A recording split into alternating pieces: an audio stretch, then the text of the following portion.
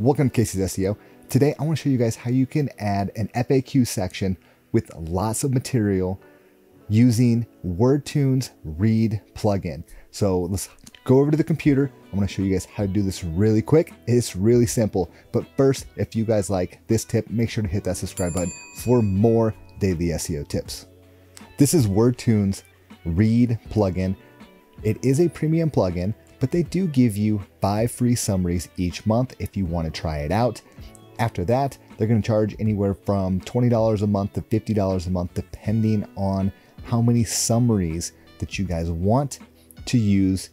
So here is what you do. Once you log in, you can either upload a PDF, paste a link, or add text. Generally speaking, you can paste any link that you need. Sometimes it will not pull the text, so you might have to copy and paste the text. But from there, it does everything that you want. So for example, I have an FAQ page or an FAQ section on one of my pages. And what I did here was I took um, a piece of Google's content that talked about doing SEO. And then I summarized that content, made a few changes, and posted it under Can I Do SEO on my own? So I took that URL, and here you can see it saves all the content that you have ever done. So right here we have SEO Starter Guide, the basics. So if I click on that URL, you can see the content that it pulled, and then it has a summary of each section with all the main points that it thought uh, was important. And if you keep scrolling down, you can see this goes on for quite a while. This was a very, very long page. They had lots of content on here about how you can do SEO and all the important topics that you need to focus on. Overall, though, it was real quick and easy. Just pasted a link and then you can um, copy all these summaries if you want. You can hit copy all, you can hit export, it will export into a Word doc, and then you can make some edits, go back to your site, and add it to a FAQ section.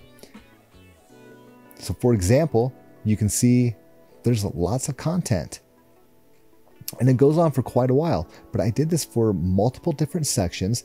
I found some good content that I wanted to focus on, made a summary of it, added my own ideas, made some changes, and then went ahead and posted those in FAQ section. So now this page here has around 6,000 words, and it did not take me a whole lot of time.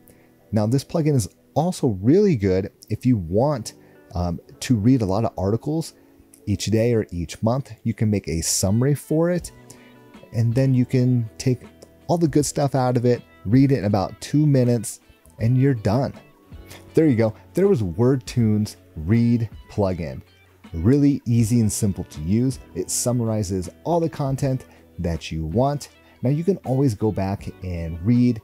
Maybe it didn't pull out the exact content that you were looking for. Maybe it pulled out something that was not relevant to you. And you can go ahead and make changes. Download that text, make some changes, and then if you want to use that content, repurpose it, and you could have some fast, easy content to place on your website, your social media sites, whatever it is. So if you need a quick, easy way to get some summaries, make sure to check out that WordTune Read plugin. And if you have any comments or questions, please leave them below. If you need more daily SEO tips, hit that subscribe button for more.